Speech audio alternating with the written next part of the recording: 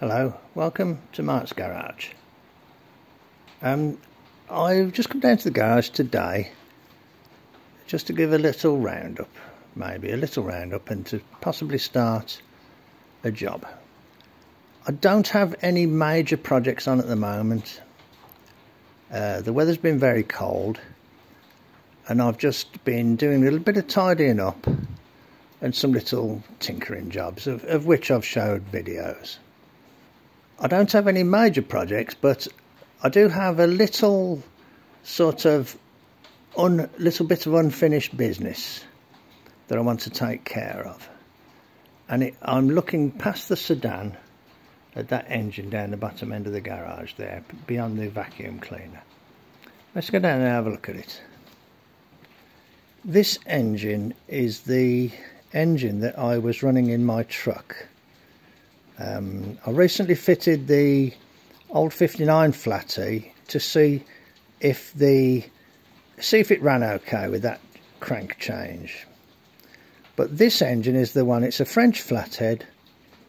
This is the one that I started to build as a higher performance engine, but I had to abandon the build because I went th through from the valve pocket into the water jacket. I did a repair using a 1 8 NPT plug and then built it as a more or less stock engine, um, French crank, um, French rods, French pistons in 7 bores, 30 thou over, one 60 thou piston in a bore that was damaged that I bored out. And that's a Ford piston but I had to clearance it. There's a video about it. And the, the other thing I did was I took the French truck cam and modified it to run a crab distributor. Um, it has a 10 inch clutch and it, it's a good running engine. It runs fine despite the odd bores and uh, used nature of the parts that were used to put it back together. But the basic premise was to build it to see if the repair um, lasted. And it did seem to last because it's been running in the truck now. It had been running in the truck for approximately a year before I took it out. So, what's my idea? Um, this is a good running engine and I have that crank that I have repaired the burnt up thrust face in. So what I am going to do is um, put this engine on the engine stand, pull the heads, pull the rods and pistons.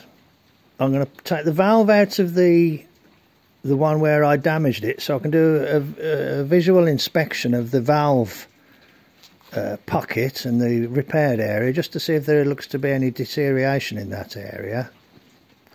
So I'll take the pistons and rods out. Now, I was just thinking that I could leave them in because I could just change the crank, but I want to fit that crank in a block and look at it and measure the um, end float. So that's what I'll do. I'll take the heads off, all the pistons out, rods out, um, crank out, and then put the other crank in. I will check all the clearances, make sure it spins okay, and then reassemble it using all the same rods and pistons in all the same holes and put it all back together and make it into a running engine again. And then when it's in a running engine, I will have to run it. Now, I only have two vehicles that are currently on the road one of them is the sedan. Here's the engine in the sedan. And one of them is the truck, which is parked outside. Now, it's quite a lot easier to change the engine in the sedan. So what I might do is just put it in the sedan to test it. Give it a run around and then I'll be able to draw a line under that crank and say that that crank is okay if it runs okay or I'll put it in the truck one or the other this vehicle or the truck will receive this engine with the other crank. when I've driven it and proved that it's okay, I will then consider what I want to do then moving forward, which might involve um, building a higher performance engine like I intended to in the first place. Because I could do with a nice engine in there, not a racing engine, this is my 33 coupe. I could do with a nice engine in there, nice reliable engine. This is my racing engine which either might stay in here or could go back in the Roadster and then I need an engine to go either in here or in the Roadster, you know. Another engine similar to this. What I'll probably do is build an engine that is like this was before I took it out to 3 and 3 eighths. In other words, a 3 and 5 sixteenths motor, 4 inch stroke, um, you know, and twin carbs and stuff. Not a racing engine, just a mildly hopped up flathead. So there's lots and lots of ideas going through my mind. Um, it's the middle of winter and um, I feel like I need to have something to play about with and th this is going to be it for a little while. Okay, so that's my little intro to um, my next little round of work which like I said focuses around that engine there and the first thing to do is to test that repaired crank and see if it's a viable crank. If it is, I might be able to use it. Okay, thanks very much. Take care, and I'll bring you back when there's more to show. Cheers then. Bye. Hello. Um, I just wanted to share a observation. I've just put my leveler on there, and it's the first time I've used it since I modified it. And um, this fits well this fits well and this works really well. It's really nice to use. Ever so easy. And with just the right amount of um, sort of resistance you know to make the ratchet work. But it's not heavy by any means. That's really good. Nice and adjustable. So I just wanted to share that because I did show the uh, leveler mods, but never showed it being being used. There we go. Nice, good, cool, man. There we go. First little bit of uh, positive feedback on the recent uh, tinkering jobs. I'll um, bring you back when there's more to show. There's the engine on the stand. Got a a table ready there to receive parts and I've got a table ready there to receive parts so I'm going to slowly just take the I'm going to take the heads and the inlet manifold off I'll crack the manifold bolts with the ratchet.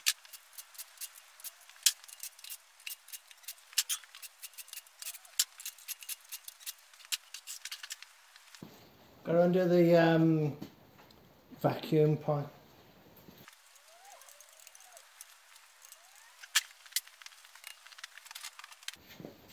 Don't know how old this hammer is, but uh, I just noticed it the other day. It belongs to a Mr. Hands Off. Hands Off.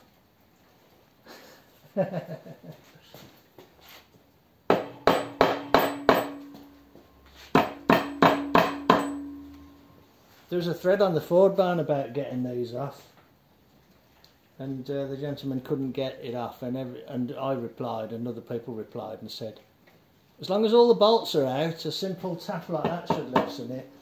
And he said oh they found a you know one of these bolts there that was still in. So that was lucky. They could have broke something couldn't they?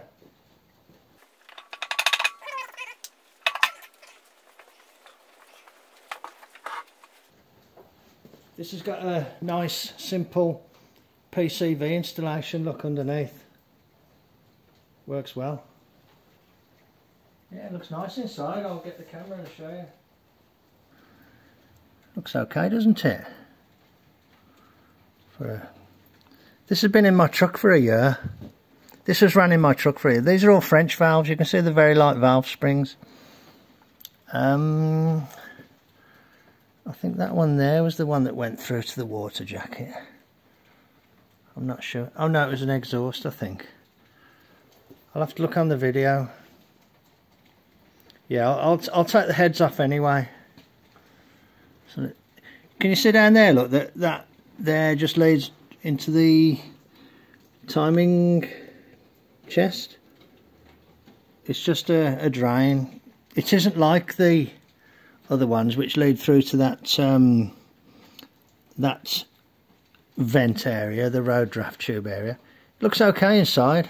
Looks okay. This was run without an oil filter, of course, in the truck. Okay. Yeah. Nice one. Okay. I'll uh, I'll get the heads off.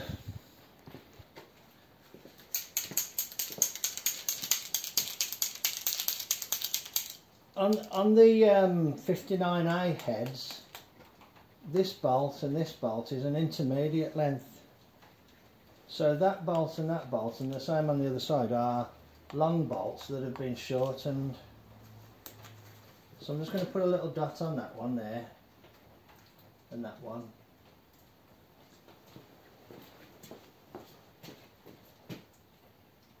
And these. So that I can, you know, when I'm putting it back together, I can look for those ones and put those in those locations.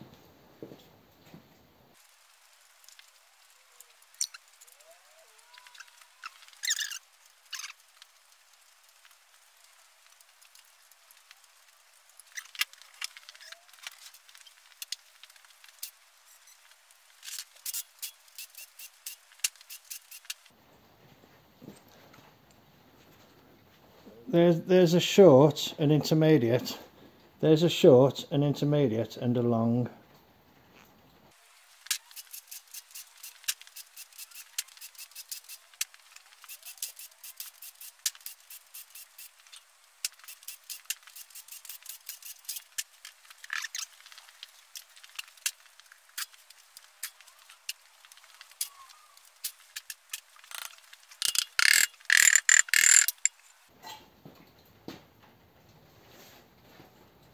I was going to um, get those handles that I, I made, but um, it came off anyway.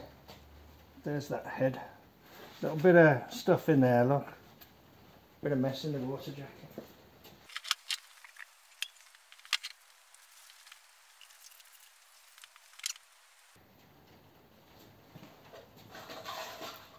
Oh, blimey.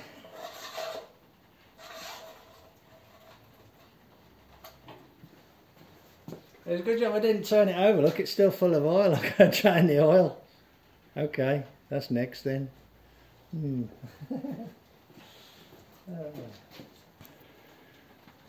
Can you see where um, the pistons have been damaged by somebody in the past? This is the 60 thou piston that I put in. The other pistons, I can't see much on that one. I mean, this looks okay, doesn't it? It doesn't look... Looks like the motor's been running well because it doesn't look particularly sort of coked up. All the bores look nice. You know, there's nothing wrong with that bore, is there? Well, other than historic rust uh, staining. Yeah, a little bit of historic rust staining, I think. That was a fresh bore, that was.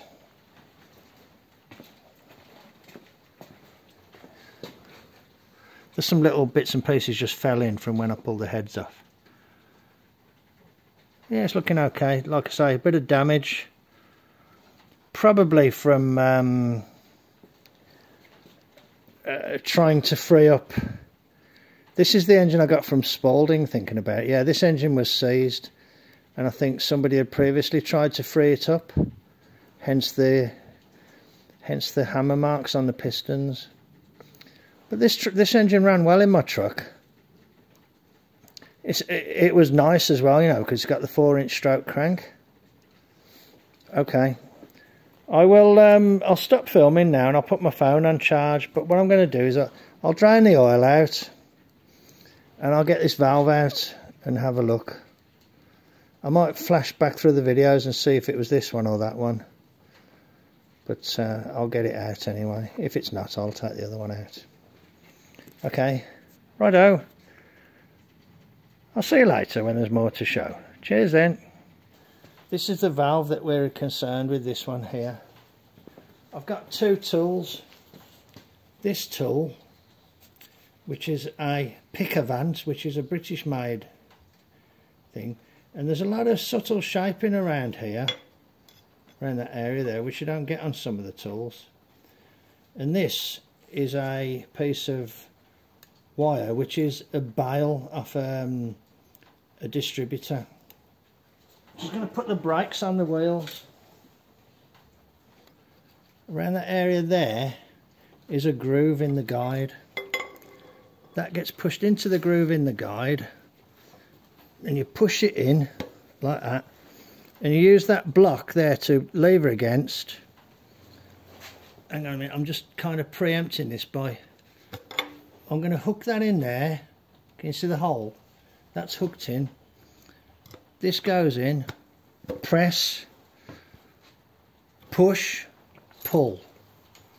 Okay. There's that. Right. Now hopefully this should just all pop out now. Okay. There's the valve you know, looks in, looks in, well, I hope it looks in good condition. Yeah, it looks, you know, it looks, looks in good condition. Okay, so that's out. That's the area that was, that's the area that was repaired. That there, where you can see a little dimple, is the middle part of a plug and I fitted that plug and then ground the ground it away a little bit. I can see a small amount of don't know rust or something just there.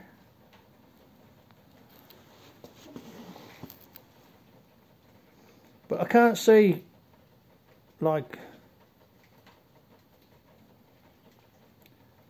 I don't know what I can see to be honest I don't know what that discoloration is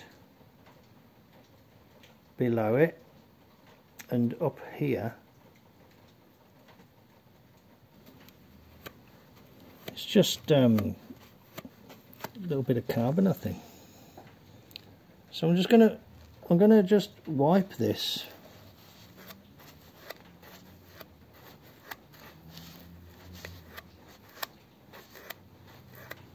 yeah that's just a very bit little bit of very light carbon.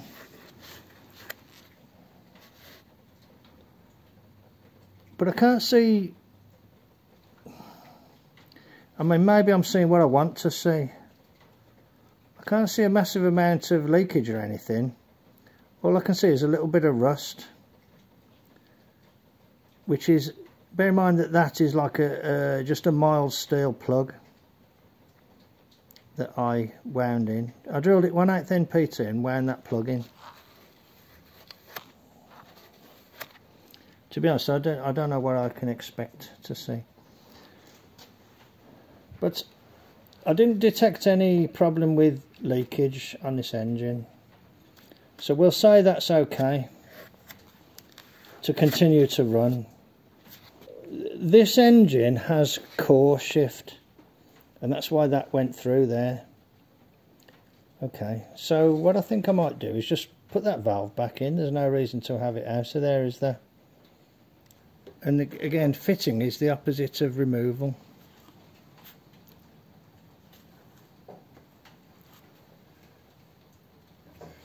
But I'll, I'll give you a little hint.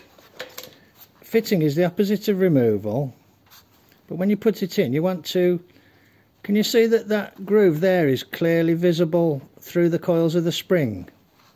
For instance, you don't want to put it in like that. Where you're not, you're not going to be able to put your tool on that on that groove. You want it like that. So that valve's going in there. Bang. I've got the clip in my left hand. There's the tool going in. Can be a little bit... Of the camera's slightly in my way, so I'll give it a go anyway.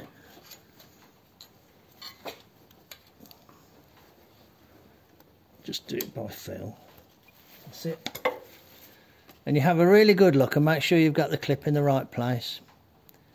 Because it is possible to get it in the wrong place, and that is in the right place. Okay, so that's past inspection then, so that's good.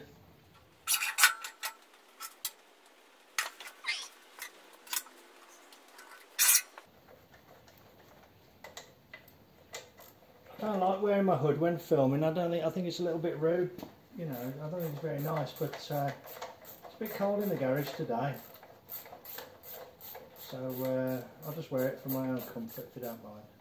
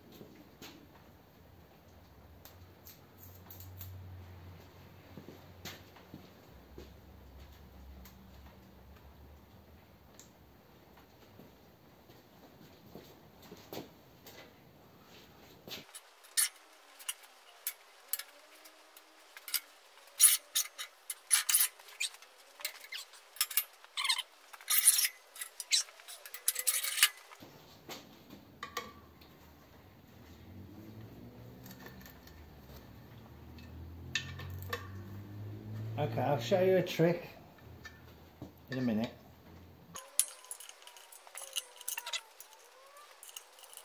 This clutch is coming off and it's going to be put on again soon. I've got three bolts all the same.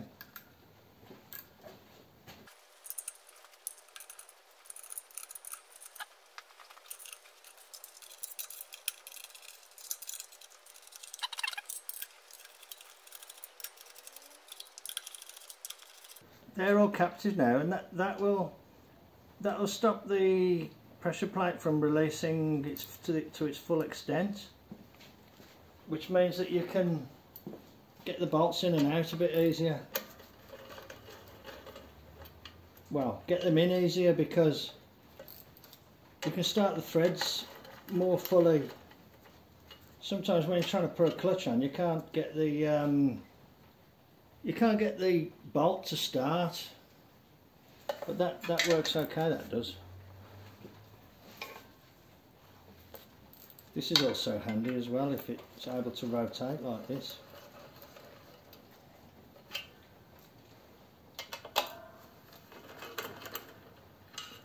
Having it up on end makes it a comfortable height as well.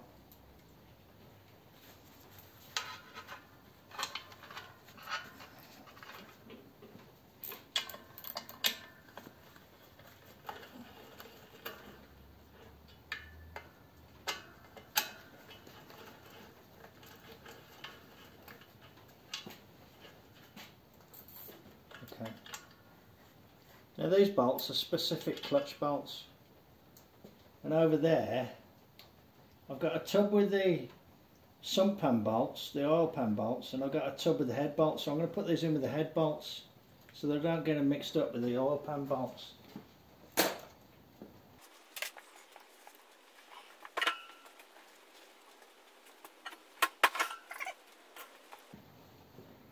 Oh, this is that one that I had to um, machine down.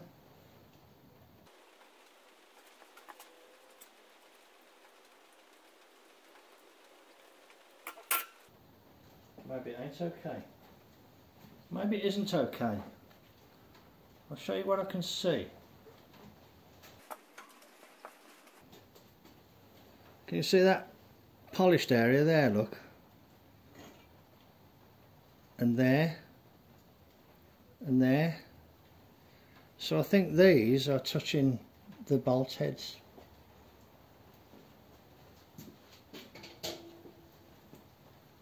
Okay, and this wire's a bit thin I'd say as well.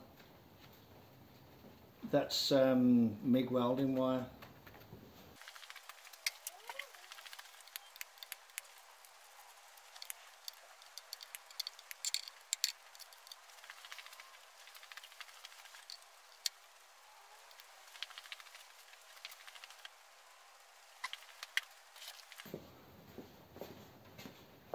How far down can you see? Not very far. Look down there. See that? Put that socket in the crank drilling there so that I can undo the undo those.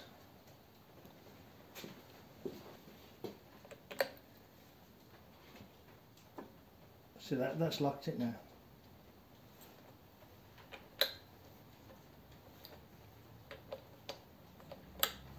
I turn these bolt heads down. Oops daisy, that one's tight.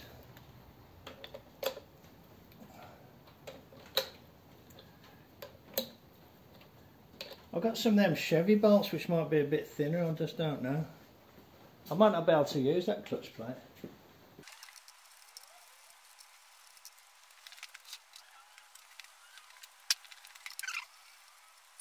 Anyway, nonetheless, let's worry about that another day.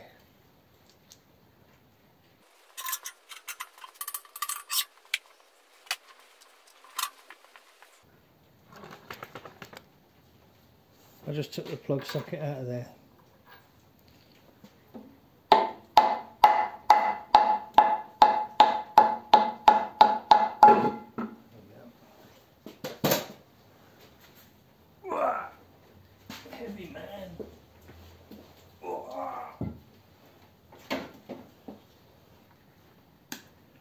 This is the French one where it's got um, a stud and a nut.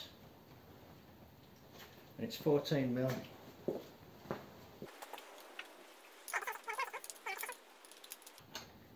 It's a metric thread, but the other end of the stud has a, a UNC thread on it.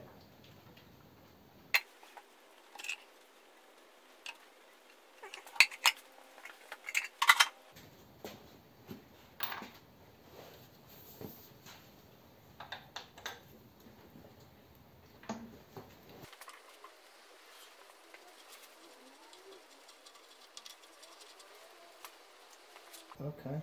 Oh, okay. This one hasn't got the uh, seal surface on it. This one hasn't got the seal surface on it. The seal surface is a separate piece. Don't know quite if that's factory or, or, or what. But that does mean I will have to take that piece off to put it on the other crank.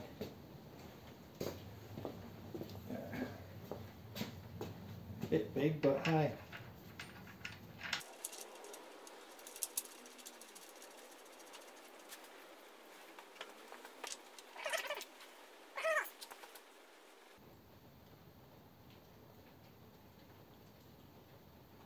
Let's get number one and number five to the top. Like that. Right, these have got pal, pal nuts on them not a great setup really, but hey.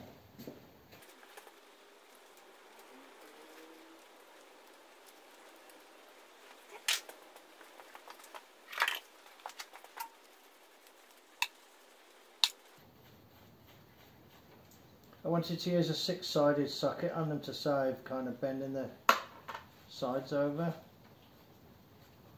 But I suppose there's any reason why they shouldn't be reused.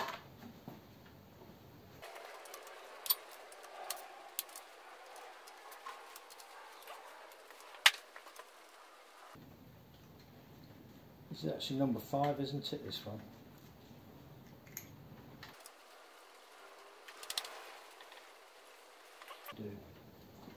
I'll clear a space to put the pistons.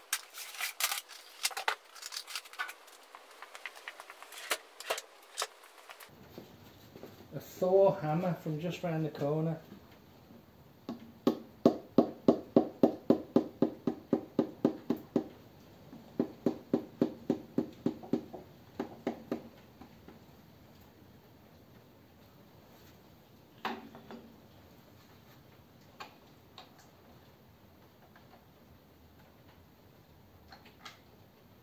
Okay.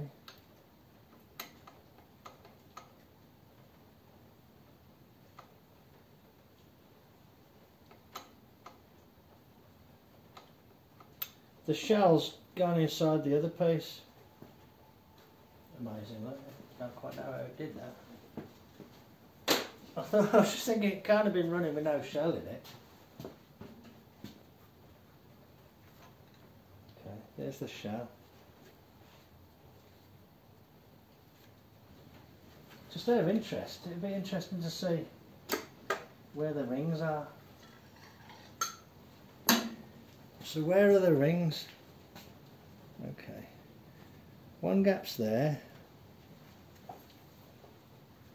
One gap's there. And one gap's there. So they are around from each other. Yeah, that's interesting. I've probably got it on video where I put them. So that's number five, isn't it?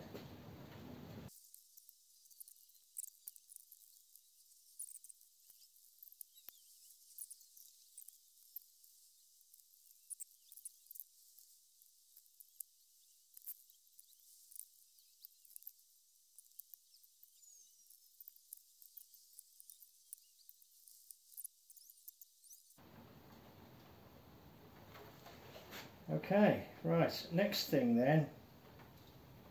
Although I'm wondering how long I want to carry on working on it now. Might as well carry on. I've got an hour and 17 on the video.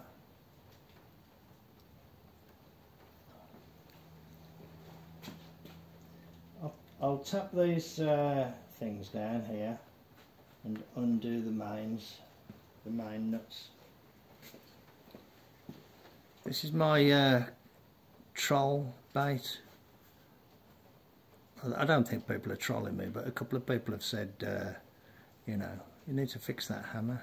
Well, it ain't like you're going to go, hammering, you know, really blathering away with it, is it?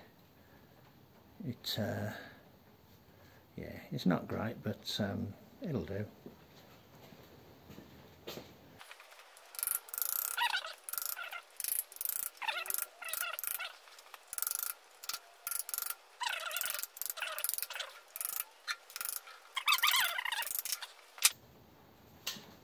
Sockets were a good invention, weren't they? You know, when you think how adaptable they are.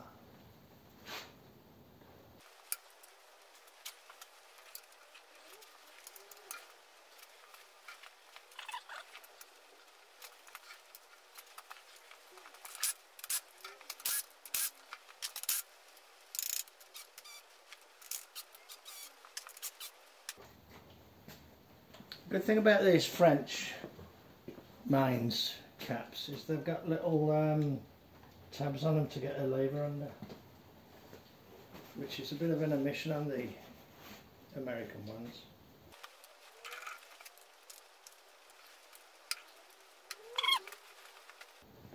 The problem is these tab washers kind of get stuck on the threads a bit so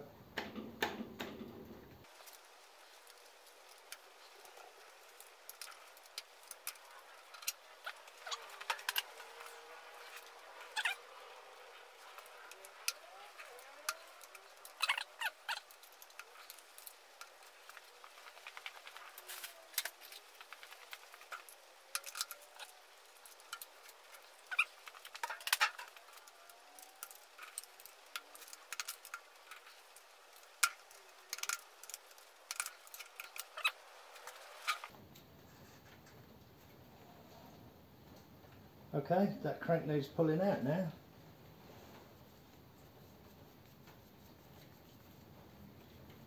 I think the crank's in good condition. It hasn't got very big chamfers on the holes though. I might as well lift the crank out and then we can call that the end of the first part of the video, can't we? I'm going to try and do it a way that I've done it before.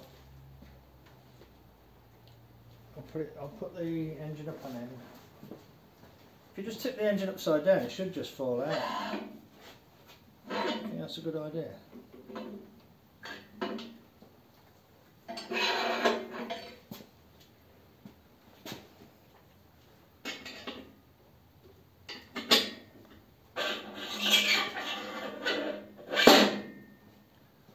Right, the first thing I've noted when I'm lifting the cranks in and out is to remove the drip tray so I can put my foot inside it.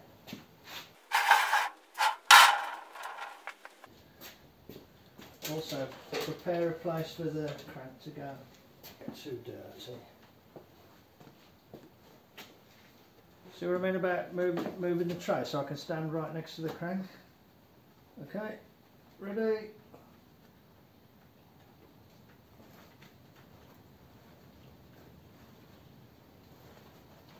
Gotta get hold of it on a good bit of the crank. There she comes. Oh, yeah.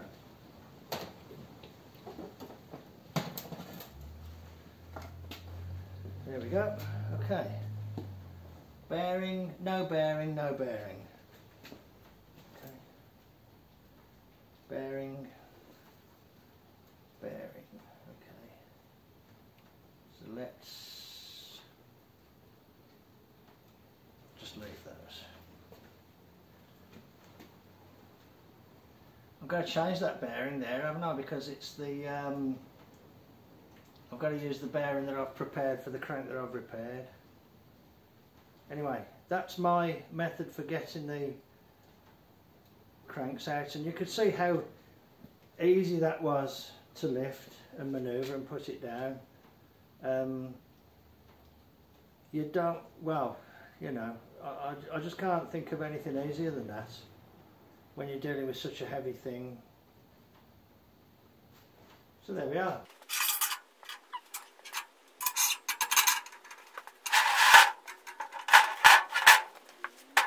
Okay, so there we are. That's um, that's all the crank rods, pistons, and heads stripped out of this block. And there's a little bit of something there that fell in off the hammer.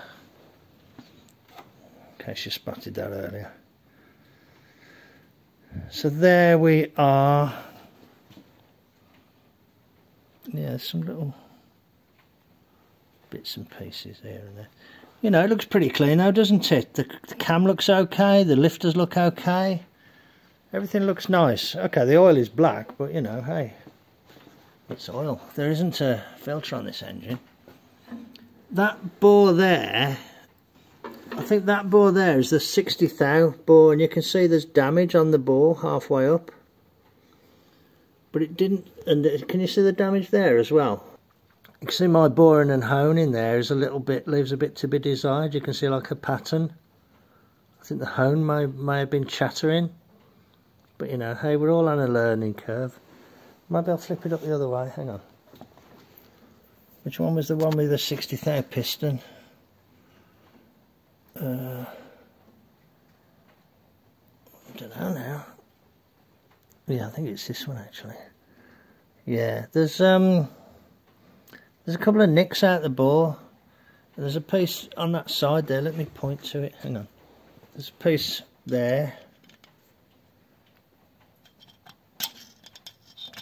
There's like a chunk out the bore there. But it ran, you know. Can you see this watermark here? And there. And there's something there as well something down there as well but it ran amazingly all the other bores are actually pretty good. If it wasn't for that damage on that one bore, you know, this engine would have been in good condition. Okay, righto. So that's the basic tear down there. Um, and I can get the other crank out, make sure it's nice and clean because I did the work on it quite a while ago. So I'll get the other crank out, clean it up and uh, get it fitted in this block. Righto, we'll call that good then. Thanks very much for joining me in the garage. Take care and I'll catch you next time. Bye.